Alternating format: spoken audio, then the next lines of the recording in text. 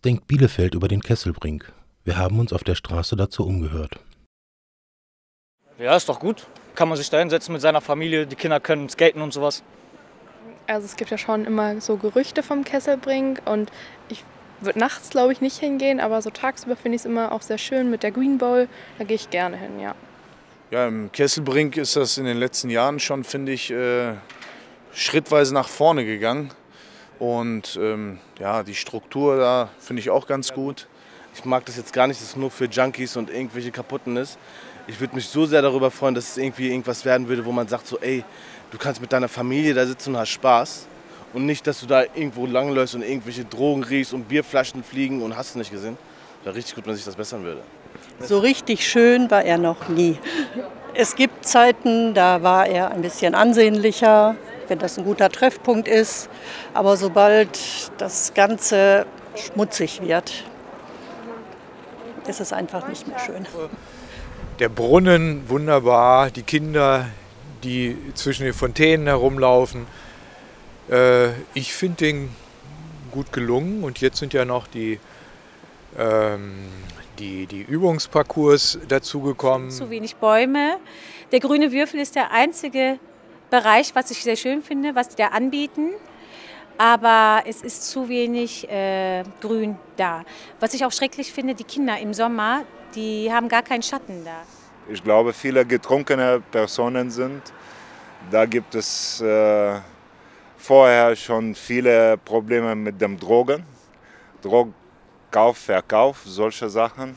Ist eigentlich eine gute Sache. Es sind ein paar, ähm, wenn, ich, wenn ich das so sagen darf, ein paar komische Leute da. Aber an sich äh, ist ja was Gutes. Ne? Es ist eine freie Fläche, wo man sich aufhalten kann für Jugendliche. Ähm, was Tolles. Also an sich nichts Negatives. Ne?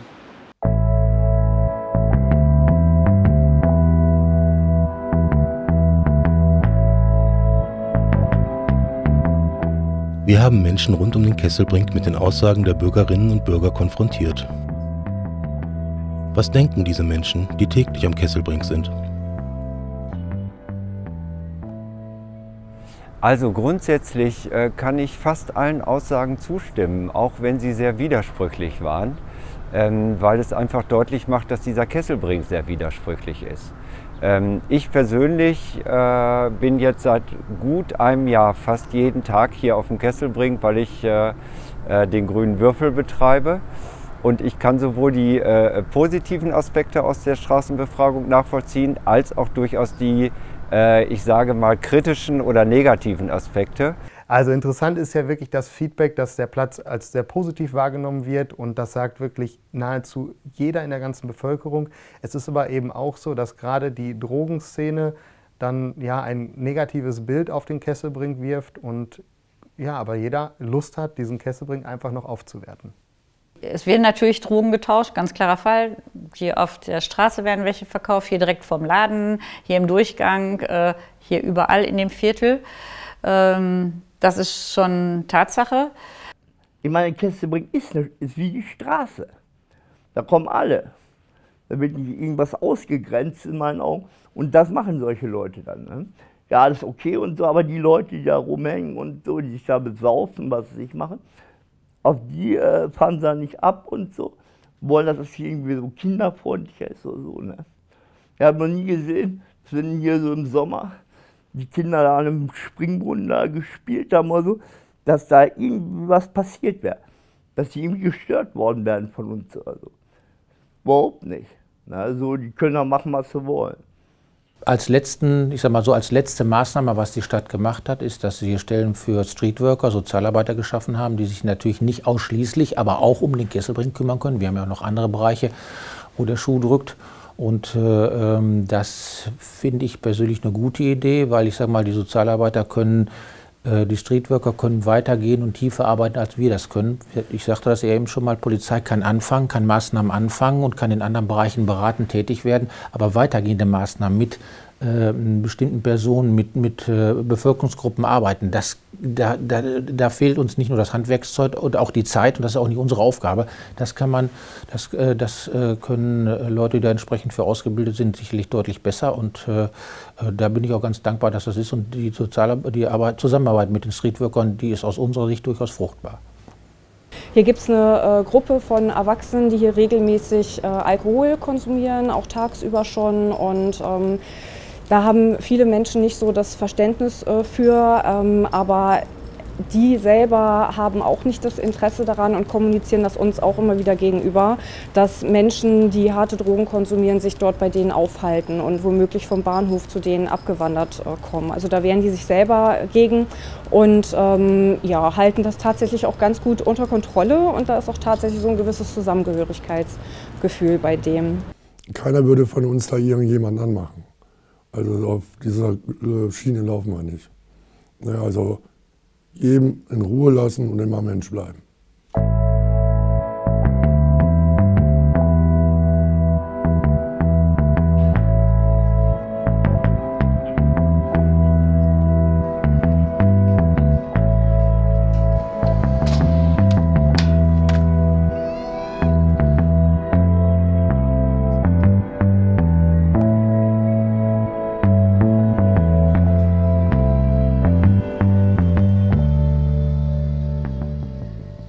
Fand die Vielfalt der Aussagen jetzt gut. Also ich, äh, natürlich hat der, äh, hat der Platz hier Probleme, das ist kein Thema. Ja? Also die Aussagen, die kamen, da sind Leute mit Alkohol, da fliegen Flaschen durch die Gegend, äh, da riecht es nach Drogen.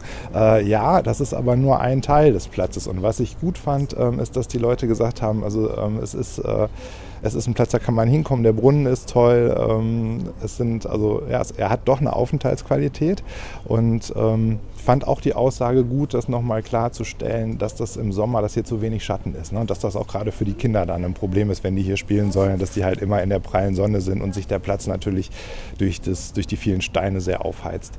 Dass man über bauliche Sachen nachdenken muss, wie zum Beispiel den, die, ähm, die bauliche Veränderung der Wilhelmstraße, die geplant ist. Die Übergänge zum Kesselring, das kann man sicherlich nicht so isoliert sehen, dass man äh, Sichtachsen frei macht, dass auch vor der entsprechenden Vorstöße schon da sind, damit, wenn, wenn äh, Bürger kommen, die den Bereich nicht so kennen, äh, durch mehr Licht, durch freie Sichtachsen und, und, und sich einfach sicherer fühlen, was das Ganze angeht, damit man eben mehr Akzeptanz auf dem Kesselring hat. Das muss man sicherlich machen.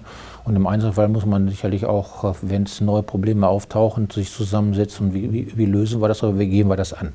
Da finde ich, da fehlt eben ein bisschen so ein Bademeister, sage ich immer, für einen Kesselbrink, der da ein bisschen der Ansprechpartner für alle ist, kein Sozialarbeiter, sondern einfach äh, ein Ansprechpartner ist. Und ich finde, das hat die Stadt ein bisschen versäumt. Ich finde es unheimlich spannend, wenn ich sehe, wie viel Angebot über viele verschiedene Schichten hier am Kesselbrink ist. Also sprich, ich kann Skateboard fahren, ich sehe hier teilweise Sportgruppen, ähm, die dann ja, Reha-Sport oder Yoga machen. Also dieses Angebot ist einfach unglaublich gut und ähm, ich würde das einfach noch mehr erweitern. Ich würde viel, viel mehr ähm, ja, Richtung Kesselbrink dann auch verlagern. Die sollten hier auch mal so Angebote machen, das hatte ich auch damals schon gesagt, dass man auch so, manche Mädels, ich fange jetzt schon wieder mit Fahrrad an, manche Mädels kommen und ach, kannst du mir das mal reparieren gerade schnell, dass mal, mal so ein Projekt entsteht, vielleicht einmal im Monat, dass mal gezeigt wird, wie ein Reifen gewechselt wird und wenn eine Kette, Kette abspringt, so, so, dass die Leute mal so ein bisschen ansprachen oder dass mal gesagt wird, ey, komm, ey, mein Reifen ist gerade platt, ihr seid gerade da, könnt ihr mir nicht helfen. Und dann, dass das gezeigt wird, dass so, so Hilfsangebote, damit die Leute nicht, steht irgendwo so auf der Straße, was soll ich machen? Und äh, grundsätzlich ist dieser Platz ähm, eigentlich hat richtig viel Potenzial. Äh, der wird auch richtig gut äh, genutzt. Vielleicht gibt es äh, nach der Pandemie auch nochmal wieder mehr kulturelle Angebote. Ähm, das ist einfach ein Platz, wo sich die Menschen für ihre sozialen Kontakte halt treffen. Ob das jetzt die Sportler sind auf dem Spielplatz oder die äh, Skater und so trifft sich halt eben auch die Gruppe der erwachsenen Menschen, die halt den Alkohol konsumieren hier regelmäßig. Und ähm, ja, sehen das hier halt so ein bisschen als ihr Wohnzimmer, weil sie vielleicht einfach nicht so die Möglichkeiten haben, äh, sich woanders zu treffen, drinnen äh, in der Kneipe ein Bier zu trinken. Und ähm, das geht anderen Menschen hier natürlich äh, auch so. Nicht jeder hat das Geld auch, um am Wochenende zum Beispiel in Diskotheken feiern zu gehen. Und dass der ganze Platz dann nur darauf reduziert äh, wird und nicht die positiven Seiten gesehen werden und nicht auch sich mal äh, selbst ein Bild gemacht wird. Das ist sehr schade. Und das würden wir Streetworker uns natürlich auch sehr, sehr gerne anders wünschen.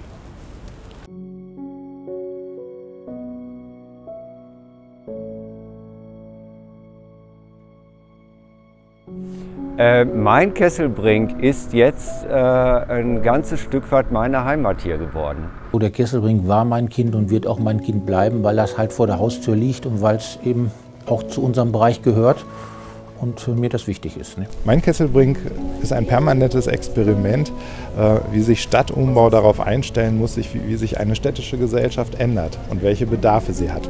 Mein Kesselbrink ist seit langem die Heimat für meinen Laden und für meine Kunden und ähm, das ist mir ein wichtiger Platz. Und äh, als Lebensmittelpunkt, äh, den ich mittlerweile hier auch habe, ist er mir eben halt auch sehr wichtig. Mein Kesselbrink ist der Ort, wo ich Freundschaft, Kollegialität habe und auch vielleicht auch mal ab und zu mein Herz ausschütten kann. Das ist mein Kesselbrink. Und äh, ich verbinde mit dem Kesselbrink halt ähm, ja, super viele spannende Menschen, die wir kennengelernt haben bisher und auch ganz, ganz viele verschiedene Menschen und ähm, ja, viele positive Erlebnisse eigentlich. Ja, mein Kesselbrink ist für mich die Straße. Also die Leute, die ich kenne von der Straße, die treffen sich hier. Alte Kumpels, die ich seit Ewigkeiten kenne, seit 40 Jahren manche. Mein Kesselbrink ist ein Ort für alle Bielefelder, für alle, die Bielefeld besuchen, der wunderschön ist, der eben auch noch zu verbessern gilt. Und wenn wir das hinkriegen, haben wir einen, einen wirklich, wirklich tollen Punkt in Bielefeld.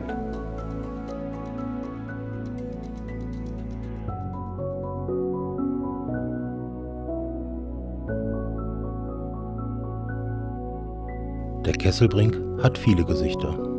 Was ist dein Kesselbrink?